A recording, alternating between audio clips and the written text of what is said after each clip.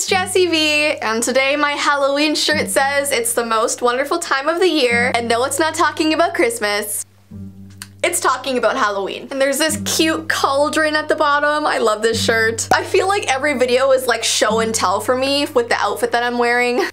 Bear with me. So today we're gonna be talking about the places that are blacked out on Google Maps. It really makes you wonder what they're trying to hide from us. It's a very mysterious and kind of unsettling thing to see on Google Maps. Now, there can only really be conspiracies about what are behind those blacked out places so I'm going to be reading some of those conspiracies. Now, a lot of these places are military bases, so I'm not gonna talk about those ones because those are like obvious ones that people would understand why they're blacked out. I'm gonna be talking more about the places that people are unsure what's there. And a lot of them have to do with aliens, surprise, surprise. So the first one is called Sandy Island. Sandy Island was discovered by Captain Cook during his explorations around Australia in the late 1700s. So this island is very, very old and was discovered many, many, many years ago. Did anybody else think of Captain Hook when they heard Captain Cook?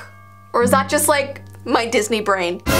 So island that was discovered has been seen on maps for the past 200 years, so it's always been there visible for people to see. But now if you go on Google Maps, it has been mysteriously blurred away. No one really understands why, and it's never really been explained. Some people think that maybe the water levels got too high and now the island is literally underwater and can't be seen. Or other people think that maybe the island is being used for some mysterious business. Either way, we're not able to see it on the map anymore and it's just been a very unsettling thing for people to see. It's also especially unsettling because this island was shown on Google Maps up until November of 2012.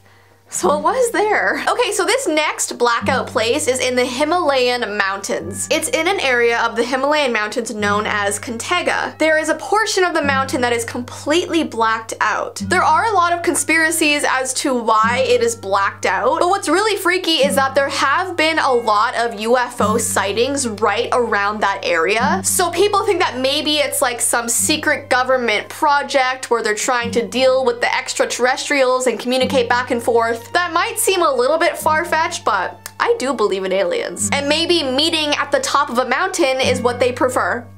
I don't know. Either way, it's 22,000 feet up into the air, so it's quite a long hike if you want to go see yourself. But don't do that, actually. Don't ever, don't ever do that. The next place is the Royal Palace in Amsterdam. So if you're looking at Google Maps, you can see everything else crystal clear around the palace, but the building itself is obscured from all angles. And the reason why is probably because of security issues. They don't want the public seeing different ways you can get into the palace and stuff like that. Other people think that maybe the the royal family is hiding something. Either way, people are still finding this blurring to be very strange because if it was like a security thing where all castles around the world had to be blurred, but then why isn't Buckingham Palace blurred?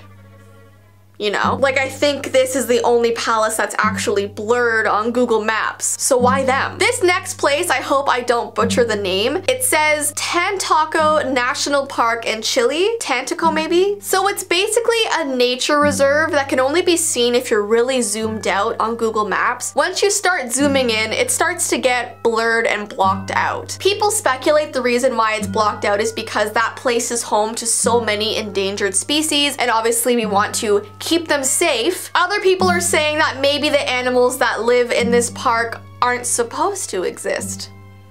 Dun dun dun. Maybe they've made some like weird creepy hybrid animals that live there. What is very strange though is that this nature reserve is open to the public. I mean there's hiking trails there, people are always going in and out of this park. So why is it blurred from Google Maps yet people can still go there? That's what's confusing everybody. It says maybe the park is hiding something that is only viewable from bird's eye view above the park so hikers can't see it when they're walking through the forest. That's really creepy. Either way, I always find nature reserves, as great as they are, I always feel kind of eerie being in them after hearing all of like the missing persons cases and stuff like that. This next place is Baker Lake in Nunavut, Canada. According to a conspiracy theory and popular lore, the black strip over Baker Lake covers extraterrestrial beacons that no government wants the world to see. So a lot of these blackout places are aliens. This next thing I find to be kind of hilarious, and that is that all of the Colonel Sanders on the KFC signs around the world, his face is blurred everywhere. This is because Google Maps automatically blurs the faces of people that are seen on the maps just for their security, for their privacy. So this system accidentally thinks that all of the KFC signs have real people's faces on them. So even though he's just like a logo face, it's just, it's blurred everywhere. But I mean, props to the graphic designer who made that logo because clearly you made it look like an actual human face, so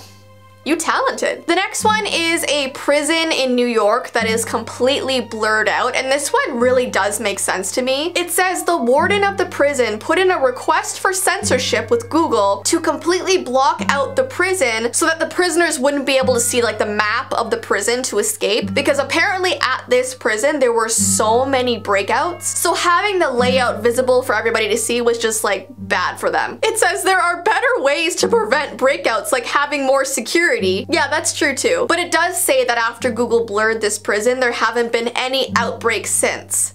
So that's good. This next one is such a mystery and nobody in the neighborhood knows why this place is blurred. There is a specific house on Princeport Road that is completely blurred. Even the residents who live in this house don't understand why. This is a quote from one of the residents. I've been in this house since 2000, but I have no idea why nobody's able to see it. If you find out, it would be nice to know why. Isn't that crazy? Imagine like seeing your house on Google Maps and it's it's the only one in the whole neighborhood that's blurred, so it's just never been explained. That's bizarre. And this last one is also super weird and doesn't seem very necessary. It's the Mazda Raceway Laguna Seca Salinas. Why does it sound like a tongue twister? It's basically a racetrack in California that is blurred. No one knows why either. It says this is one of the most bizarre examples of censorship in Google Maps. The raceway is heavily whited out. And the strange thing about this is the fact that it's just a racetrack. Anybody who's been there has seen that it's literally just a racetrack. So what aren't we allowed to see from up above? It almost seems like having a bird's eye view of certain things is just stuff that we will never know. Anyways though, there are so many more, but I'm gonna end this video here. If you wanna talk about any that I have not, definitely comment down below. But I hope you guys have an awesome rest of your day and I will see you in my next video. Bye!